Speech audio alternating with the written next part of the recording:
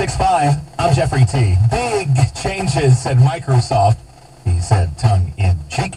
They are changing their default Office font for the first time in almost 15 years. Remember back in the day it was Times New Roman, which I always found ugly.